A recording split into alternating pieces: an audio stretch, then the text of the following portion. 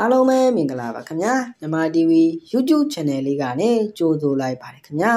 ပရိသတ်ကြီးရေကျွန်တော်ဒီနေ့တင်ဆက်ပေးသွားမယ့်အကြောင်းအရာလေးကတော့ချစ်ပရိသတ်ကြီးများအတွက်ဖွင့်သွားလာပါလုံးနဲ့သူမရဲ့ကိုလုံးလေးကိုအတကောင်လောက်ခါပြီးတတော်စော်ထားတဲ့ခင်လွှမ်းရဲ့ဗီဒီယိုဖိုင်လေးအကြောင်းကိုပရိသတ်ကြီးများအတွက်တင်ဆက်ပေးသွားတာပဲဖြစ်ပါတယ်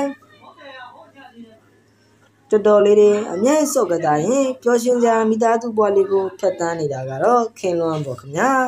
သူမစီဖြိုးနဲ့ခြေသူဘဝရဲ့ကလေးကတော်တော်လေးတွေစော့ကစားတတ်သူတယောက်ပဲဖြစ်ပါတယ်